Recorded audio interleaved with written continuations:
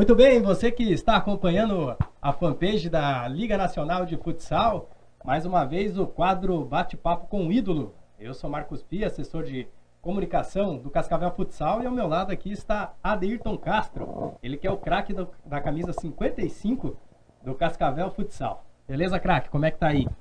Tudo firme? Tudo, tudo tranquilo, graças a Deus. Beleza, esse vai ser o, o bate-papo com o ídolo de hoje. Nós falamos aqui de Cascavel, obviamente, é claro. E nós já temos várias perguntas aqui para o nosso craque. Para começar, por que rei? Rei do Paraná? É pelos títulos no Paranaense, né? Esse é o 11 Paranaense que eu jogo. E nos outros, nas outras 10 cheguei em oito finais, né? E ganhei cinco títulos. Tá aí, ele é considerado, para quem não sabe, quem não é do Paraná aqui, não sabe, ele é considerado o rei do Paraná. Não ganhou nada então, o Adeirton, né? É, desde já gostaríamos de agradecer a LNF por esse espaço concedido aqui para a gente trazer mais um pouco sobre cada craque, cada ídolo nosso nessa modalidade, no futsal, esse que é um esporte amado pelo brasileiro, tá ok? Adeirton, e aí, meu? Eu vou pedir para você começar a, nossa, a nossa resenha aqui contando um pouco sobre sua, o seu lado pessoal. É, o cearense Adeirton nasceu em qual cidade? É, se é casado, se não é, se tem filhos ou não. Eu gostaria que você falasse um pouquinho sobre sua vida pessoal. Sou de Fortaleza, né, capital do Ceará. Tenho 34 anos. Saí de lá para vir para o Paraná em 2003, né, com 19 anos. De lá para cá, tô aqui pelo sul, né? Já joguei duas temporadas na Espanha também. Sou solteiro, mas namorando, né? Com a Tamara. Manda até um beijo pra namorada, né? Tá lá assistindo. A Tamara deixou já aqui um coraçãozinho. tá lá assistindo. E também, eu não sei se ela quis, de, eh, deu a entender aqui uma aliança, será? Algo assim? É, já quer noivar? então, como eu tava falando, né? É a 11 primeira participação, né? Na, no Paranaense. É um estado que me acolheu bem, né? Entre Cascavel, aqui no Paraná, também já joguei em Guarapuava, em Umuarama, Foz e na Mafusa de Maringá. Esses times aqui no Paraná. E dentro desses títulos que você conquistou aí no Paranaense, qual foi o mais difícil? Acho que todos, né? Todos têm sua importância, sua dificuldade. Agora o Paranaense está mais equilibrado, né? As equipes se reforçando bastante, jogadores de seleção, está mais competitivo agora, né? Ano passado, esse ano, com, com o Marrec e o Foz né, chegando ali nas semifinais do, da Liga. Então creio que esse ano está mais equilibrado. Então, você começou a jogar em Fortaleza mesmo lá. Eu gostaria que você falasse um pouquinho sobre a categoria de base, onde você passou, ou se você não teve a categoria de base. Tive, tive categoria. Comecei no infantil do Circo Militar de Fortaleza. Aí joguei infantil e infanto no Circo Militar. E dois anos de juvenil no, no. Aí no último ano de, de juvenil eu fui tentar campo em São Paulo. Joguei na Juventus, né? Da rua Javari lá, moleque travesso. E acabei que não me adaptando, né? Fiquei sete, sete meses. Aí acabei voltando para Fortaleza. Aí fiz os últimos cinco meses no Sumov e depois fui para o Maringá em 2003. É isso, galera. Vocês que estão acompanhando a live aqui na fanpage da Liga Nacional, vocês podem participar também. Manda um recado aqui pelo, pelo Facebook que nós estaremos aqui, na medida do possível, lendo as perguntas de vocês. Tá ok? Já tem uma pergunta aqui essa pergunta aqui eu acredito que você já recebeu. Você já recebeu algum não na carreira, Aderton? Um não na carreira? É, ou alguns? Não. Não recebeu? Não, não lembro. Não lembra? Não. E até mesmo essa não. da rua Javari? Não, também não. Foi mais uma opção minha, sabe, uma também? Opção. Isso, aham. Uh -huh. Mas não. Graças é, a Deus é... não. não é fácil receber não. Uh -huh. É, falar um pouquinho sobre os treinadores. Aqui chegou uma, uma mensagem aqui. Quais são os principais treinadores com quem você já trabalhou? Com o Ney Vitor você não precisa falar, que já é o atual e. É, o Ney Vitor é verdade. Né? Mas quais são, a, foram os principais treinadores? O Ney Vitor, além do Cascavel, foi meu treinador na seleção paranaense em 2004 também, né? Quando era juvenil ainda, tinha 20 anos. Então, o título paranaense que o, que o, que o estado do Paraná Isso, tem. que Paraná tem. Mas tem vários. Tem, tem um baiano que eu fiquei dois, é, um ano em Guarapuava, a gente foi campeão. Um cara muito gente boa também, muito inteligente. O Maneca. E a resenha do baiano, como é que é? Ah, é muito engraçado. É. muito engraçado, muito gente boa. É. Não para, não para de, de brincar. O baiano é uma e Também tive o Wander, quando joguei no, no Joinville, em 2007. O Wander Convino, também muito bom treinador. O Maneca, um excelente treinador também, parte tática muito bom. Aprendi bastante com esses treinadores. Tá ok. É, como você chegou no Cascavel Futsal? A partir de que contato? Como que você chegou no Paraná? Vamos dizer, você veio primeiro para Cascavel. Isso, no Paraná foi através do, do Facol, goleiro, né? Porque na época, em 2003, tinha, era obrigado ter dois juvenis no, no, entre os 12 né, relacionados. Era obrigatório ter os dois juvenis. E Maringá não tinha. Aí o Facol, como era cearense, jogava no Maringá. E eu tinha jogado com ele lá, ele já me conhecia, né? Juvenil, ele me indicou. Eu acabei vindo, né? Para compor o elenco do, do Maringá, para ficar ali brigando por algum tempinho para jogar, né? E graças a Deus foi mais do que eu esperava. Tinha partida que eu já, já iniciava de titular. Aí depois fui para Foz, aí 2005, 2006 para o Moarama, onde eu cheguei na primeira final, né? Do, de Paranaense. Aí foi quando eu enfrentei bastante o Cascavel e o Nivito gostou, né? E acabei saindo para Santa Catarina. Em 2010 eu aceitei a proposta do Ney joguei quatro anos seguidos aqui em Cascavel. Então, ano passado o Adeirton voltou ao Cascavel é, e olha, eu presenciei essa cena, eu acho que você deve lembrar.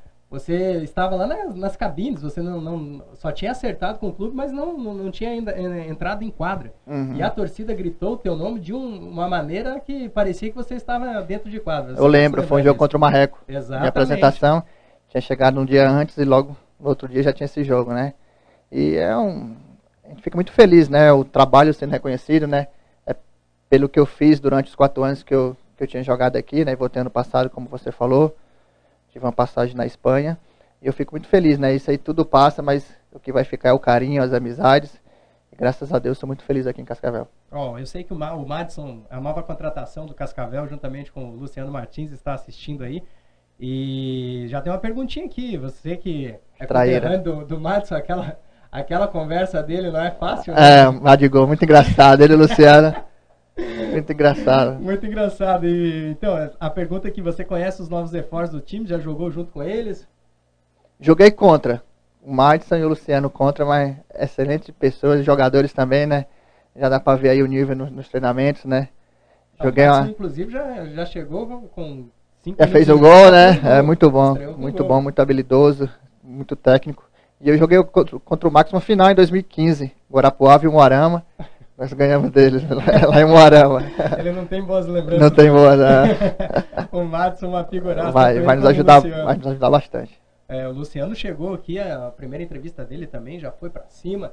É, e é um, lugar, um local que ele conhece, né? Ele já, já jogou aqui, saiu e tá voltando agora. A gente espera aí contar com eles aí, que nos ajude. Tá certo. A Lu, a, a Lu Silveira, a nossa querida Lu, torcedora fanática pela camisa tricolor aqui, Obrigado, Lu, pela sua participação. Ele tá, ela está perguntando aqui de onde surgiu a dupla Batman e Robin. De onde surgiu, se eu não me engano, foi numa transmissão do Jorjão na KTV. E deixando bem claro que eu sou o Batman e o Rafinha Robin. deixou até aqui. Um grande abraço também para o Rafa Miller, ele que atuou ano passado na Intel e esse ano voltou a fazer a essa dupla Batman e Robin, não sei quem que é quem aqui, já o, o, é o Robin. já falou que ele é o Batman. E boa recuperação a esse craque, a essa excelente pessoa que é o Rafael. Exato, está fazendo falta e que ele se recupere logo que nos ajude também. Exatamente. Que dê tudo certo para ele. Já que a gente está falando dos nossos atletas aqui, é, tem uma pergunta aqui sobre o Isamo. O Isamo ninguém conhece ele no Cascavel Futsal. Né? Ele já é um, uma história, então, uma lenda viva. Tá ok. 18 anos já aqui. A pergunta é, Isamo, é, o Isamo é um líder para, para vocês? É, é um líder, é uma referência, né? Pela experiência que tem, né? Por, pelos títulos conquistados também, por conhecer bastante o Cascavel também. A gente tem que se espelhar nesses jogadores assim, né? Que, que já viveu bastante no futsal. A gente procura sempre aprender algumas coisas com essas pessoas. O Isamo é uma, uma excelente pessoa. Vamos lá, tem mais perguntas aqui. Você também pode ir mandando aí que, na medida do possível, faça igual a, a Lu encaminhou aqui para a gente, a gente já, já leu a pergunta dela.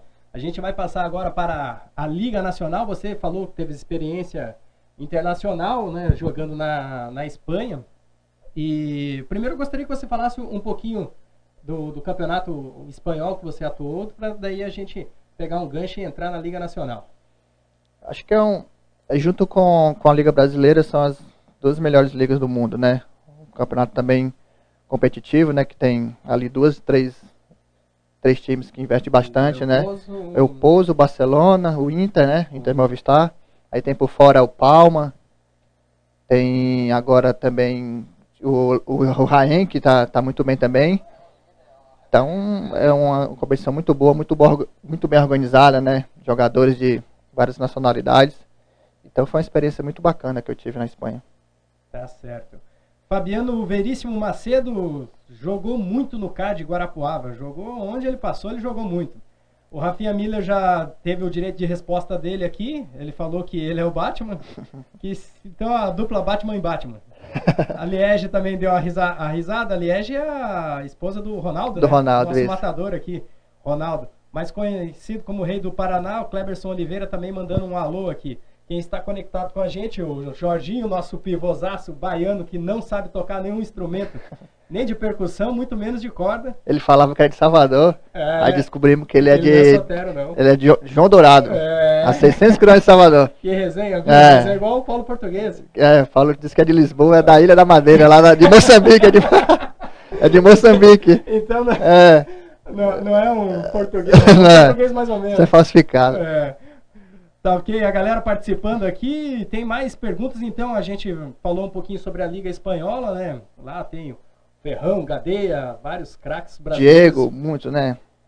Afinal, agora foi um jogão, né? Onde os brasileiros se destacaram, né? O Gadê, se eu não me engano, ontem foi eleito o melhor jogador da competição, né? Mas ele tá É um, é um do muito, muito bom, muito bom. Realmente, Uhum. um cara que se doa o tempo Jogou- todo. Isso, é. muito. Jogador completo, né? Exatamente. Finaliza faz bem com gol. isso, exato. E faz muito gol. Ah, qual, qual time que você jogou lá? Cartagena, dois Cartagena. anos. Dois anos. Isso, Experiência super bacana. muito bom. Então vamos falar então da Liga Nacional de Futsal. Você que teve experiência então na, na Liga ainda na Liga Espanhola, eu gostaria que você falasse um pouquinho sobre esse campeonato que é muito difícil. Não tem jogo fácil na Liga Nacional. Não tem, né? A cada ano vai se equilibrando, né? Vem jogadores brasileiros de fora que, que tá voltando agora, o caso do, do Pula, do Folha, né? Pro, pro Magnus. Então isso vai engrandecendo a competição, né? E a gente tá aí brigando por uma vaga ainda, né? A gente tá fora é, momentaneamente aí de- dessa briga. Mas a gente sabe que a gente tem time para conseguir a nossa classificação. Com essa parada aí, acho que foi boa, né? Que o Ney começa a colocar o trabalho dele mais né, agora afinco, né? Porque tem jogadores chegando agora, jogadores que chegaram no começo do ano também, né? Que tá faltando entrosamento. E a gente espera aí, é, nesses sete, oito jogos que faltam, a gente conseguir nossa classificação. É, o Ney até chegou a comentar com a gente a questão também da parte física, para colocar a parte física em ordem, né? É, o Sora também tem, tem batido nessa tecla, né? Tá, tá faltando isso também, né? Alguns jogos acho que a gente sentiu, mas com certeza quando voltar aí a gente vai estar tá, tá 100%. É, eu não digo em relação à preparação física, muito longe disso, porque o Antônio Carlos, o nosso Soda, um excelente preparador físico, assim como o Anderson, né? Exato, Faz um trabalho muito bom. Mas só que era a sequência de jogos, uma em cima É, da e da o outra, elenco curto, né? Enxuto, e isso aí não tinha como. é. não- Jogadores suspensos, Então essa machucados. parada aí que seja bem-vinda e rumo à classificação Se Deus do. Mufadão Secret Cascavel Futsal na Liga Nacional e também, claro, no Campeonato Paranaense, que nós estamos bem no Campeonato Paranaense. Vamos ver mais perguntas aqui chegando pra gente. Falando também da Copa do Mundo. Ah, claro que você acredita no Brasil, né? Aqui tá, tá perguntando. Sou brasileiro. no- no Claro, Brasil? com certeza. Tirando tem o um- Brasil, qual que seria o, o segundo. Eu acho que é a França, eu acho que é a França. Tec- tecnicamente é a França, né? Mas tem, tem a, a garra dos uruguais também, que pode complicar bastante, né? Que pena que a gente pega eles ali na semi, né? Se passar pela, pela, pela Bélgica. Mas acredito que o mais difícil vai ser a semifinal do que a final. Essa Copa do Mundo está sendo mais ou menos a, a liga do ano passado. Muitos grandes caíram. É, nós tivemos dois paranaenses na, na, semifi- eh, nas semifinais, o Foz Cataratas e a equipe do Marreco também. Você acha que essa Copa do Mundo está mais ou menos naquele estilo? Tá, tá bem parecido, viu? Os favoritos saindo, né? O caso da Alemanha que saiu bem cedo, né? Foi nem pro mata-mata. E é, é a tendência é isso, né? É equilibrar o futebol, o futsal. Como o pessoal diz, não tem mais bobo. Eu acredito também nisso, né? As equipes vão se conhecendo, jogadores japoneses vão jogando na- nas principais ligas né, do mundo. Assim vai, os africanos também. E próxima Copa também, eu creio que vai ser, essa tendência vai ser essa. E eu espero que essa liga também, que a gente não está tão bem na É. tabela, mas que a gente consiga essa classificação e surpreenda muito. É, o time nós temos, jogadores Nós temos, nós já, e- já comprovamos isso, né? e Exatamente, E acreditamos o Cascavel também tem uma, história bacana na liga, né? 2011, 2013 chegou na, nas quartas de final, onde foi eliminado pros- pelo Santos em 2011 e pela Intel em 2013, né? Os dois times foram campeões, né? O Exatamente. Santos em 11 e a Intel em 2013. Então, é um, uma equipe experiente também, o Cascavel. Mais pergunta aqui, por que você utiliza o número 55? É porque eu sempre joguei com a 5, eu gostava da 5, eu gostava do, Manuel Tobias. E cheguei a ver uma reportagem dele, né, uma entrevista que ele jogava com a 5, porque era cinco letras do nome de Jesus. Formava Jesus, sabe? Eu sou sou sou muito religioso também, muita fé em Deus e comecei a usar a 5. E quando cheguei aqui tinha o Magrão, muitos anos de Cascavel, isso, que jogava com a 5. O, o Magrão agora deu, inventou de começar a pedalar, tá? É, depois de velho? Ah, é. Aí eu juntei 55 e fiquei com a, com a 55. É, o Magrão também é uma figuraça, um grande abraço boa. ele. O Madison aqui, é, prazer em jogar do lado desse, do, do rei e capitão. E risadinha também. Ele é- São traíras. um abraço. É, o Renan Kaiser, Adeirton, que jogou, é, que achou do gol do Lucas nos escolares. Foi da Lambreta, se eu não me engano? Ah, Ah, eu comentei no, no programa do, do Jorgeão lá, do bate-papo. Um golaço, um golaço. Acho que é esse. Ah, o Renan, obrigado pela sua participação. Felipe Santos, Adeirton, fala pra galera porque seu apelido em Guarapuava era Ricardo Oliveira. É o Filipinho do, do Foz, né? Ele que me chama desse nome, eu nem sei até hoje, de Ricardo Oliveira. Não sei. Esse Felipe. Esse Felipe é muito engraçado, filho do baiano. É... o Ney Vitor mandou um abraço aqui. A Tamara, fala a verdade, Adirton. Você torce para a Argentina, pro Messi. Nossa. Não, gosto do Messi, mas torço para o Brasil. Ah, é? Aham. Entre Messi e Cristiano Ronaldo. Messi, dis- Existe comparação ou não? pra mim não existe. O Messi Não, né? disparado. O Messi é o, é o futsal no campo. Futsal. É. é o futsal no campo. O Messi É, o Messi é espetacular. Pena que tanto ele quanto o Cristiano Ronaldo já estão em seus respectivos países, já deixaram a Copa do Mundo, mas tem muito craque ainda atuando lá.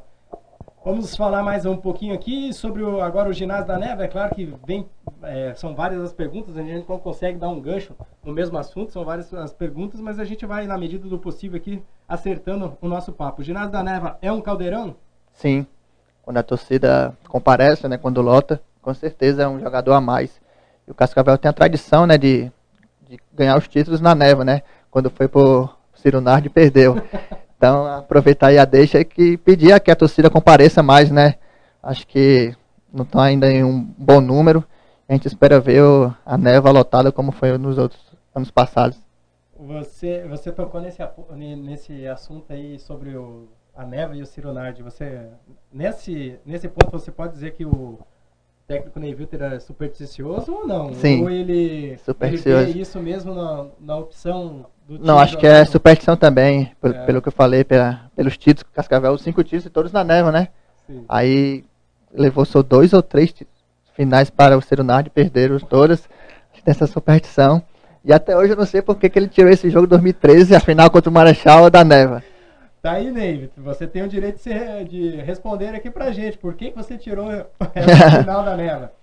É, o técnico Ney Vitor. Conta uma boa do Ney Vitor aí, tem tantas, né? Ah, cara, uma boa do Ney. Eu É, você como- sou bom de memória, não, esqueço das coisas. Você como cearense, você deve contar piada, Não coisa. O conto, já- não, já é, já é, contando. é espontâneo, assim, no dia a dia, mas Ah, é? piada, pra contar piada, eu não sou não, um bom piadista, não sou, Toma não, não tenho, não, não tomo. Tá mais pra galera. é, não, não tô, tô cearense, sou da rapadura. A do Ney tem bastante, né? Tem, tem bastante, mas assim, de cabeça agora, A, a, a do Ney, a do Ney ele É, tem ela é muito engraçada. Azul. ela é muito engraçada. Azul, a gente perdeu. É, ele é muito supersticioso, né? Ele tem, é, superstição é com ele mesmo. O técnico Ney Vitor, quem É. viajar com ele vai dar muita risada, porque não é fácil, principalmente depois do jogo, então.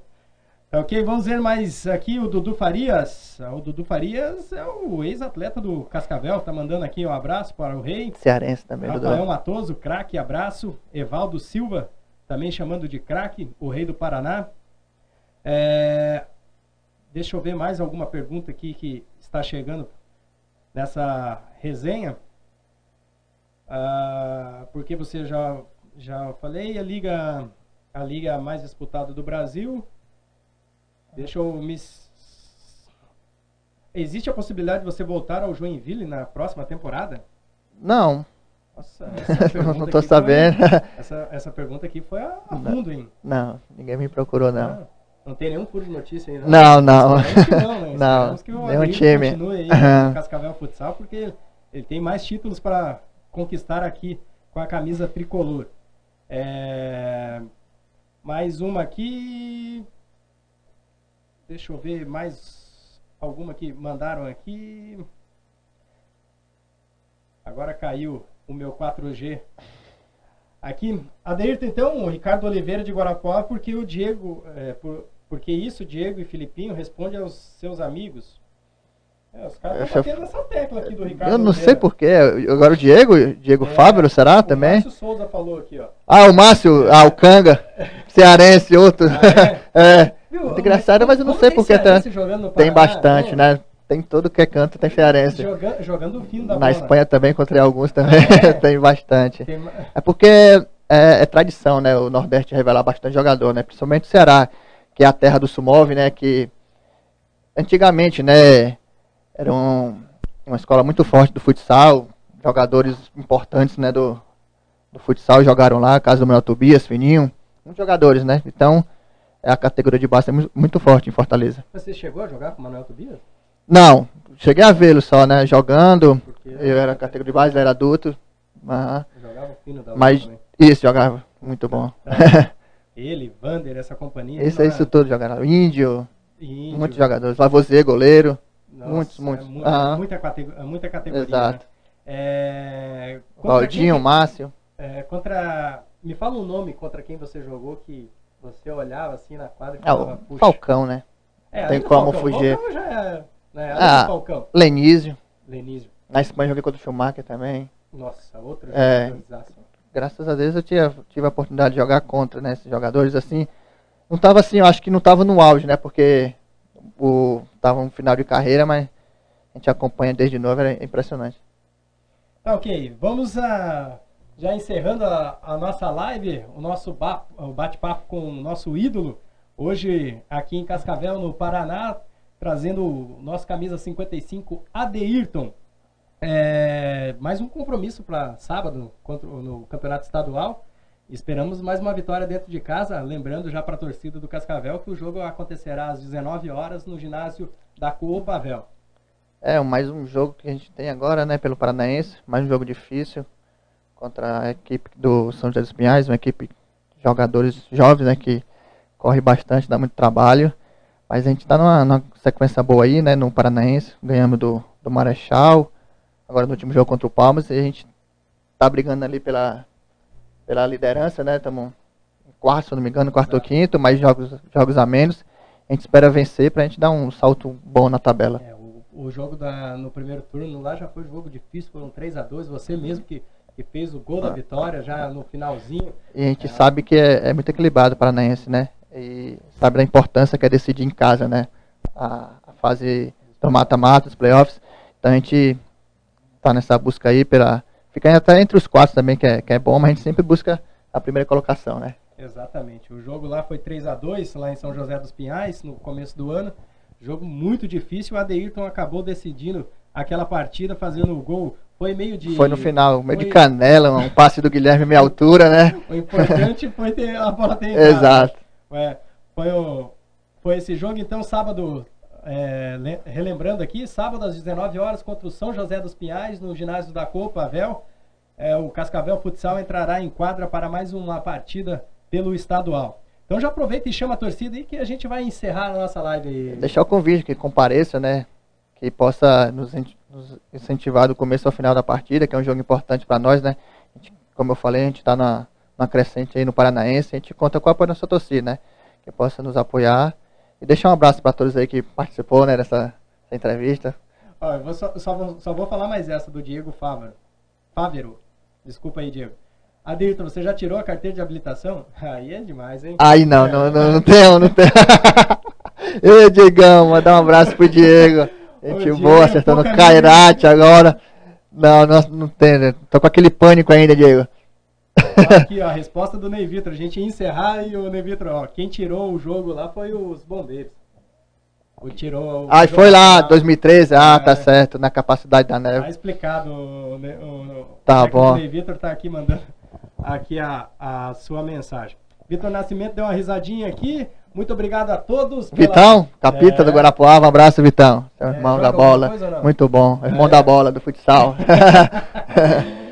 então, ok. Então, essa foi a live. Espero que vocês tenham gostado, sabendo um pouquinho mais sobre a carreira e o ponto de vista do, do Adeirton, nosso camisa 55 aqui no Cascavel. Ele não é só rei do Cascavel, mas é rei do Paraná. Conquistou vários títulos aqui no, no estado e realmente, além de ser um craque dentro de quadra, também é um craque fora dela. Tá ok? Adeirton, muito obrigado pela sua participação. Ah, queremos, é, queremos agradecer a, a Liga Nacional de Futsal pelo, por esse espaço concedido mais uma vez. Agradecer também ao nosso presidente Jefferson Zini, que tem feito de tudo aí para a gente ter uma estrutura bacana, tanto na área de comunicação como na área do time também. Muito obrigado, Jefferson Zini. E fica aí ó, Eu que agradeço tchau, tchau. pelo espaço, né, também da, da LNF. Agradeço por estar aqui e mandar todos um abraço para todos que participaram, né? Tá ok, valeu, obrigado, gente. Um abraço, espero que vocês tenham gostado. Até a próxima. Lembrando também, já deixando um abraço para o Ceará, lá do Foz, ele que já fez esse bate-papo com o ídolo, com o heavy metal Léo Costa e o Canabarro. Também um grande abraço ao Alexandre, lá do Pato, assessor de comunicação lá. Gente da melhor qualidade, ele fez com o Danilo Barão semana passada. Então, quero deixar um abraço aqui do Cascavel Futsal para você que está acompanhando a fanpage da Liga Nacional de Futsal. Um abraço e até a próxima!